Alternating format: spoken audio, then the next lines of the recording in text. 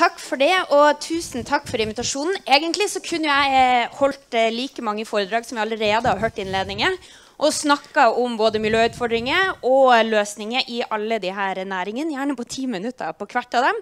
Eh, men jeg skjønner at det går ikke denne gangen, så da har jeg heller prøvd å samle det litt opp, og både se på noen av de store utfordringene som vi må møte, men da også konkret inn på en del av de næringen som vi allerede har hørt ifra. Um, og så skjønner jeg at det, her er det litt sånn delay eller noe. Der får vi se. En av de viktigste og største utfordringene som vi står overfor, det er klimaendringen. Og det betyr at all næringsvirksomhet som skal etablere seg, alt det vi skal gjøre, det må være i tråd med det nullutslippssamfunnet som vi skal til. Det må være i tråd med den Parisavtalen som ligger til grunn for at vi faktisk skal komme i mål. Og det handler både om eh, overlevelsen av flere verdifulle arter og biomangfold, men så handler det jo også om folk, og det er viktig å huske. For det er altså sånn i dag eh, at det nesten hvert eneste år eh, så drives nærmere 20 millioner på flukt som følge av naturkatastrofer. Og det er noe som vi er nødt til å ta inn over oss og gjøre noe med. Og da må vi da planlegge for hvordan vi kan komme til dette nullutslippssamfunnet. Men det andre som vi også må eh, ta hensyn til, det er tapet av biologisk mangfold. For i tillegg til å ha forplikta oss til å redusere utslippene våre, så har vi også forplikta oss til å stanse tapet av biologisk mangfold innen 2020. Og i dag så går det skrekkelig feil retning. Vi er i dag inne i den sjette store masseutryddelsen. Og vi ser at arter forsvinner 100-1000 ganger raskere enn normalt. Så det betyr at man må løse begge disse problemene. Og så har vi også en annen utfordring som har kommet eh, mer og mer opp på agendaen, og det er marin forsøpling. Og Der står vi altså i fare hvis vi fortsetter som i dag, med at vi i 2050 har mer plast enn fisk i verdenshavene. Det er en kjempeutfordring. Eh, og dette er ikke bare en utfordring som måte, vi i Norge eh, møter alene. Vi vet at mye av det som kommer i land her, kommer fra helt andre steder rundt omkring i verden av plast og marint avfall. Men det er også sånn at vi i Norge har også store utslipp sjøl.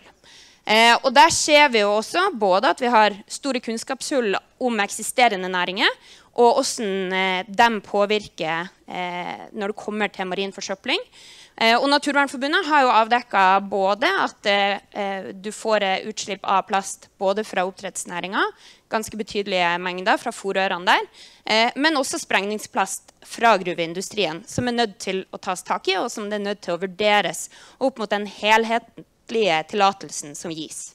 Men så da, hvis vi skal se på de næringene som vi eh, kanskje særlig tenker at det er flott og fint å ha i denne landsdelen, eller i hvert fall som en del tenker at det er flott og fint å ha i denne landsdelen, og hvordan de henger på greip eh, med de her eh, utfordringene som vi står overfor, så er det altså sånn at eh, i dag innafor Og det vet jeg at egentlig ikke er i min bolk, men eh, siden den kommer etterpå, så sniker jeg meg til å også snakke om olje så er det altså sånn at når vi har det gigantiske klimaproblemet som vi står overfor, når vi vet at vi allerede har funnet for mye olje, kull og gass til å kunne nå målene i Parisavtalen, når vi vet at det er landene så langt er villige til å gjøre, ikke i nærheten av det som trengs, så er i hvert fall det som vi må slutte med, det å lete etter mer. Og det vet jeg sikkert det er litt sånn kaldt vann eh, i årene på en del av dere, men det er nå engang det som er realitetene.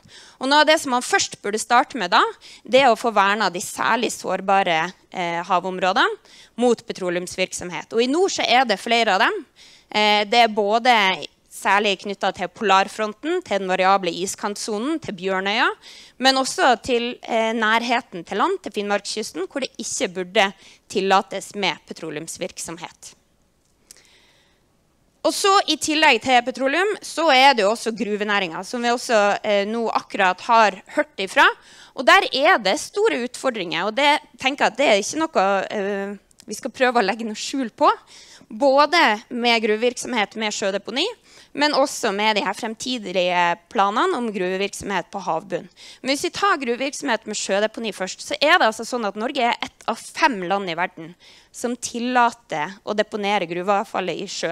Og de andre landene er egentlig ikke land som vi liker å sammenligne oss med. Det er ikke sånn at vi til vanlig synes det er veldig stas å sammenligne oss med Tyrkia eller Papua Ny-Guinea, men på gruvefronten så gjør vi altså det. Og det har store konsekvenser for biomangfoldet. Og det ser man bl.a. i Jøssingfjorden. Der er det 30 år siden sjødeponiet ble avslutta. Men da Havforskningsinstituttet og Universitetet i Bergen var på tokt der i sommer, så var den overraska over hvor oksygenfattig det fortsatt var 30 år etter at det deponiet opphørte. Og så er det sånn at nå eh, I disse tider så, har, så, driver Stortinget og behandler en stortingsmelding om sirkulær økonomi. Hvordan skal vi få økonomien vår mer sirkulær? Hvordan kan vi gjenbruke mer? Og da er det også sånn at det å kaste det avfallet til sjøs, det er eh, å sløse med ressurser. Fordi det som vi kanskje i dag ikke kan utnytte fra dem, kan vi gjøre det kanskje i framtida. Men når det ligger på bunnen av en fjord, så er det vanskelig å ha noe særlig sirkulær håndtering av det avfallet. Og så er det jo oppdrettsnæringa, og der er det kjempestore utfordringer. Eh, og der er Jeg tror eh, at oppdrettsnæringa kan bli en framtidsnæring. Jeg håper det, fordi vi trenger det. Vi trenger å produsere mat Vi trenger å produsere mat til en voksende befolkning. Men det må gjøres på et helt annet vis enn det det gjør i dag. Og da går det ikke an å bare ha sånne små At man måte, man ser at her er det noen symptomer på en sykdom, men istedenfor å faktisk behandle sykdommen, så driver man bare og forholder seg til de småsymptomene gang på gang på gang. Og Der tror vi at det som må til, det er at du må få det inn i lukka anlegg. Som gjør at du verken da kommer til å ha de utfordringene knytta til rømt eh, fisk som man har i dag, som eh, til lusa, sånn som man har i dag. Eh, og du vil møte mange av miljøutfordringene på en helt annen måte enn det du har sjansen til når det er oppdrett i åpne merder. Og så har du jo eh, reiselivsnæringa. Jeg synes det var et utrolig godt foredrag eh, tidligere i dag. Jeg vet at hun ikke skal være med i måte, det panelet etterpå. Men der har Naturvernforbundet sammen med reiselivsnæringa eh, laga det som er et veikart mot et bærekraftig reiseliv. Den lanserte vi på Arendalskonferansen i fjor. Eh, som gjør at vi går sammen og prøver å se hvordan kan man møte nettopp de her utfordringene som vi ser at er i reiselivet. Hva kan vi gjøre?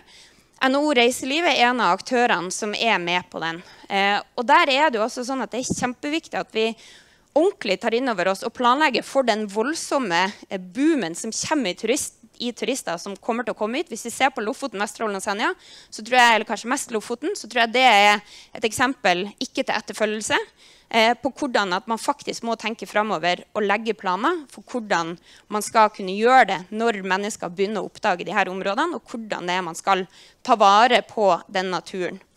Eh, og så er Det jo klart at det er en del utfordringer her nettopp fordi at det er i nord. Eh, nettopp fordi at infrastrukturen ikke er god nok, fordi vi ikke har noe jernbane som kan eh, frakte veldig mange av de her turistene oppover. Men det at også reiselivsnæringa der ser på hvilket ansvar de har, hvordan de kan bidra inn i de debattene for å få det på plass, men da også at man ikke bare konsentrerer seg om de asiatiske markedene, men at man også ser på hvordan man i større grad kan eh, eh få ut det produktet om de her områdene til de nære markedene òg, som har da lavere utslipp når det kommer til transport. Og så er det eh, fornybar energi, og der eh, er det jo Dette tror jeg er et av de stedene hvor man aller klarest også må greie å se de målene man har satt i politikken, både når det kommer til ivaretakelse av, nat eh, av naturmangfoldet, og når det kommer til reduserte klimagassutslipp, at man ser dem i sammenheng. For det er kjempeviktig at man ikke lager en sånn kunstig konflikt at du enten så skal du løse klimaproblemet, eller så skal du ta vare på naturen. Det er en motsetning som, som ikke stemmer. Man er nødt til å gjøre begge to. Og da betyr det at det er ikke alle vindprosjekter som er gode. Dette eh, bildet her, det er fra Sleneset på Helgeland. Der var det planlagt en kjempevindpark i det som var et av eh, Hubroen sine aller viktigste leveområder i Nord-Europa. Så det er en del steder hvor det aldri burde bli søkt, og så er det en del steder som kanskje heller kan egne seg, nettopp fordi at konflikten med det biologiske mangfoldet er mye mindre. Så det er noe som man da er nødt til å se i sammenheng. Så da oppsummert eh, med mine siste 20 sekunder så er det da altså sånn at det må være fornybare og bærekraftige næringer som er positive både for folk og for natur, som har forrang. Og at i all næringslivsvirksomhet så må det foreligge strenge krav til klima og til natur. Så mener jeg at oljevirksomhet og gruvevirksomhet med sjødeponi det er store og unødvendige trusler mot naturen og mot fornybar verdiskapning. Oppdrettsnæringa kan bli framtidsnæring, men er ikke det i dagens form. Reiselivsnæringa må legge klima og natur til grunn for videre utvikling og bør i større grad konsentrere seg om det nære markedet. Og produksjon av fornybar energi kan ikke gå på bekostning av verdifull og trua natur. Takk for meg.